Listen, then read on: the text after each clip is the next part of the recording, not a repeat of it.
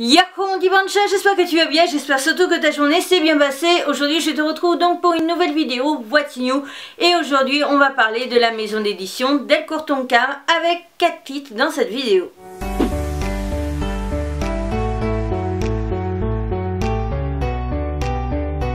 Donc c'est parti pour cette vidéo What New? On va attaquer avec le manga Mermaid Prince qui est le dernier manga que j'ai lu dont d'ailleurs j'ai fait une vidéo vu que c'est un one shot. Pour ce qui est de ce manga, à savoir en fait qu'on n'est pas sur une seule et unique histoire, mais sur trois histoires, dont une qui est en un seul chapitre et tout le reste qui se divise en fait euh, en, deux, très, assez équilibré. Pour ce qui est de ce manga, à savoir que donc on est avec Kaori Ozaki qui est l'auteur de Horse Summer Holiday que j'ai aussi déjà présenté.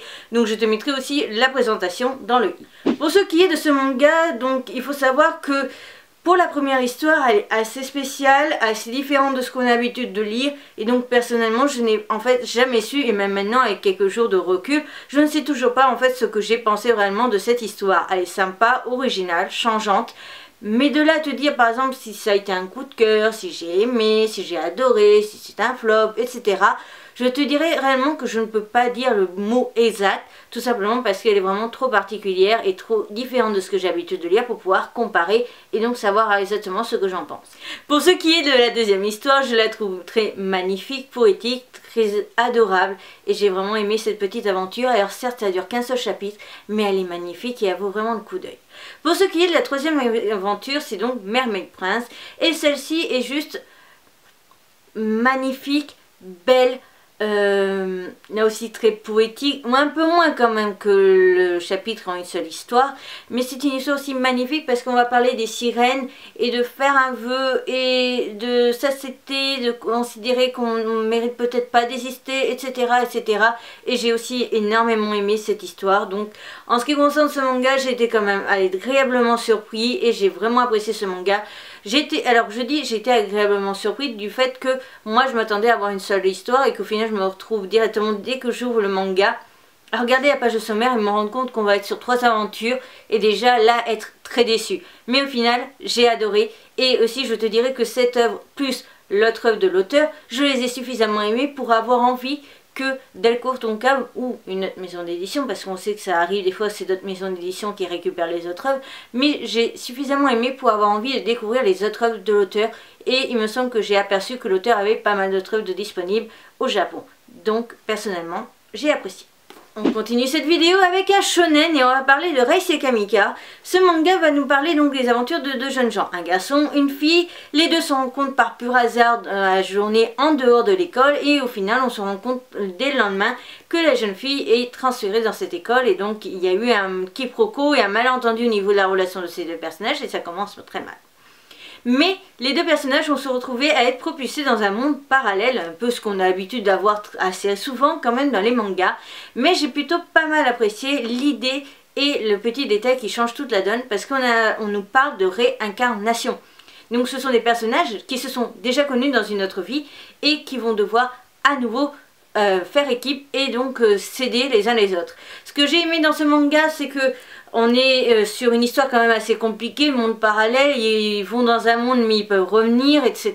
etc. Il y a une espèce de tableau de bord où tu peux choisir ta tenue, ton accessoire, etc. Ton arme, parce qu'apparemment ils ont plusieurs armes disponibles et autres. Et ce qui est bien, c'est que dans ce premier tome, on a déjà l'implantation de absolument tout l'univers. On découvre, donc on comprend qu'est-ce que c'est à peu près cet univers, on a les, grandes lignes, on découvre tous les personnages de base qui vont devoir aider nos deux protagonistes, et on a vraiment les infos de base, et donc ça permet déjà de se lancer. Certes, gros défaut de la maison d'édition Delcourt Tonkam, ils auraient été plus intelligents et plus judicieux de présenter et de proposer les deux premiers tomes en même temps, parce que là on est juste sur une introduction. On nous a planté le décor, certes en un tome c'est génial, mais justement, je n'ai pas suffisamment... Enfin, on a d'accord les informations de base, mais je n'ai pas eu suffisamment pour savoir en fait si j'ai vraiment envie de continuer cette aventure ou si ça va être un j'aime bien ou si ça va être un giga coup de cœur. Là pour l'instant je suis restée quand même énormément sur ma fin. Donc oui, Reisei Kamika, je vais continuer la série pour voir forcément ce qu'elle peut valoir. Mais actuellement, je ne sais pas du tout si euh, ça va être vraiment la série où il faut absolument que j'achète les 2, 3, 4 prochains tomes d'avance dès qu'ils sortiront. Ce qui m'arrive de faire quand je fais des crash tests ou autres. Mais là, euh, honnêtement, je vais acheter le tome suivant pour la voir. Et après, je vais attendre sagement que la série se termine. Alors qu'il y a des titres où j'ai tellement aimé qu'il m'arrive d'acheter bien plus loin. Donc voilà, assez déçu. Enfin, je reste, c'est surtout que je reste sur ma fin. En fait, j'ai pas eu assez d'informations pour savoir si je dois aller plus loin ou pas. Mais c'est déjà plutôt pas mal. Et à savoir que si, comme ça, dans ce genre de situation-là, je tiens à préciser, les deux tomes sortent en même temps, les deux premiers tomes sortent en même temps, je te parle des deux premiers tomes dans une vidéo, What New, ce qui me paraît logique. Parce que par exemple, pour les éditions Toto, il y a un manga où, euh, bah, justement, si tu t'arrêtes au tome 1, t'as pas suffisamment pour savoir. On continue avec un manga du nom de Aspi qui est dans la collection Borderline des éditions Del Cam. Nous sommes sur un manga qui... Euh, je ne saurais pas en fait comment expliquer, mais ce que j'ai vraiment apprécié en fait le concept. Ensuite, au tout début, on nous montre une page où on va être un peu plus loin dans le manga, et on suit les aventures en d'un jeune homme que l'on retrouve à l'arrière, qui euh, est un pas vraiment un déchet, mais c'est le genre de gars qui a arrêté de travailler, qui va pas à l'école et qui est obligé de faire de temps en temps des petits jobs à droite à gauche pour pouvoir payer juste son loyer et pouvoir payer ses jeux euh, qu'il fait sur téléphone où il dépense une blinde. Là-dessus, il se retrouve donc du coup embarqué dans une situation impossible où en fait il ne sait pas du tout au départ euh, euh, qu'est-ce qu'il fait comme travail. Il doit juste emmener un camion d'un point A à un point B. Le deuxième gars qui est avec lui doit faire le retour et il se retrouve finalement à devoir mettre dans le camion des femmes qui vont devenir des esclaves. Là-dessus, le jeune homme, vu son passé, décide tout simplement de libérer ces femmes, sauf que forcément tu t'en doutes, on, euh, on va pas laisser passer ça. Donc il va se retrouver, lui et l'autre chauffeur, à être vendu en tant qu'esclave. Et en fait, c'est la jeune fille qu'on retrouve à la euh, sur la couverture qui va le racheter. Et on découvre en fait que c'est une hackeuse professionnelle qui est surnommée donc SP parce qu'en fait il pense, tout le monde pense que c'est un gros porc gros dégueulasse et tout tout moche de hacker et qui fait que bouffer des classes alors qu'en fait c'est une adorable jeune fille très mignonne, très belle et qui a rien à voir avec un gros pervers dégueulasse de hacker. Là-dessus va s'enchaîner une aventure justement de rivalité entre ces fameux gens qui veulent acheter des esclaves et donc ces deux jeunes gens qui veulent essayer donc de renverser la situation. Pour l'instant on est quand même sur quelque chose d'assez mystérieux, on ne sait pas encore trop trop les choses, mais j'ai trouvé ça plutôt sympa, très agréable. Et ça me fait penser à pas mal d'autres mangas dans ce genre là que j'adore tout particulièrement. Surtout que je pense qu'une fois de plus on va nous montrer la pourriture humaine, à quel point les gens peuvent être horribles et dégueulasses et peuvent retourner leur veste et manipuler les gens pour obtenir ce qu'ils veulent. Et ça c'est quelque chose que je sais tout particulièrement apprécier.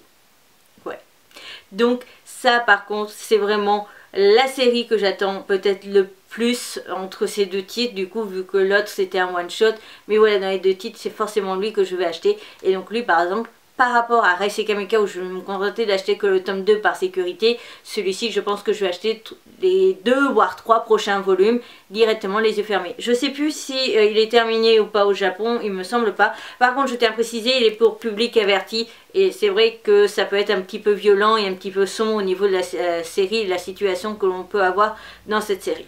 Je te retrouve donc pour le dernier manga des éditions Delcourt Tonkam et on va parler de Honey comme Honey. Dans ce manga, on va suivre les aventures d'une jeune fille du nom de Mitsu et de Kumagaya. Alors moi, je suis en, euh, diminuée à Kuma, vu que ça veut dire ours et que tout le monde le surnomme le grizzly. Voilà. Donc on suit les aventures de Mitsu et de Kuma. Là on est sur quelque chose de déjà vu, c'est que Kuma va être un genre de garçon qui fait froid, euh, enfin qui fait froid qui euh, est froid au premier abord, qui fait flipper un peu les gens, tout le monde en a peur. Les gens le surnomment le grizzly parce que justement il est vraiment assez effrayant. Je te mettrai une image au tout début et même là au niveau du regard on voit bien qu'il n'est pas forcément très très doux. Et donc on a Mitsu qui est le genre de fille assez populaire, c'est pas non plus la fille que tout le monde veut mais presque.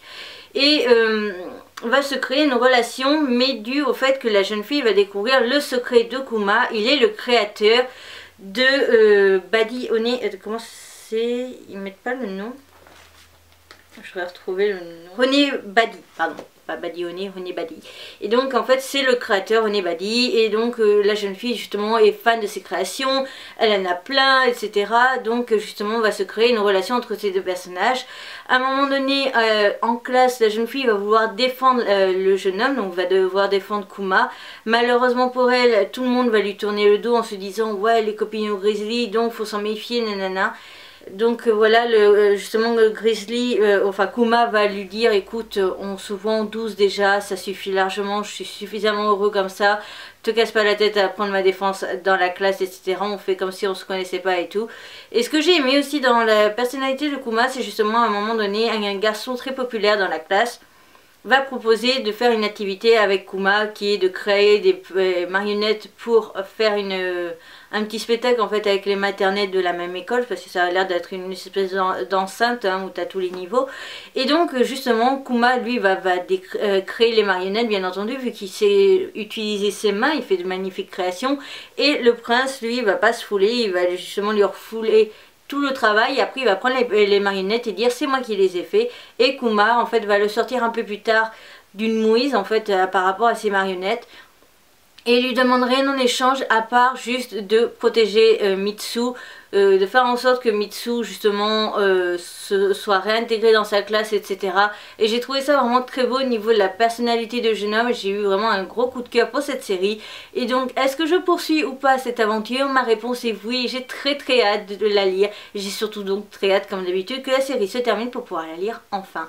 Mais j'ai vraiment eu un méga coup de cœur pour cette lecture cette vidéo What News sur les éditions Delcourt Tonkam est donc à présent terminée. J'espère de tout mon cœur qu'elle t'aura plu. Si c'est le cas, n'hésite surtout pas à faire péter les pouces. Je suis désolée, je suis toujours une catastrophe pour faire des résumés. Sur ce, je te retrouve donc bientôt pour une nouvelle aventure. Je te retrouve très vite pour une nouvelle vidéo What News. Sur ce, bye bye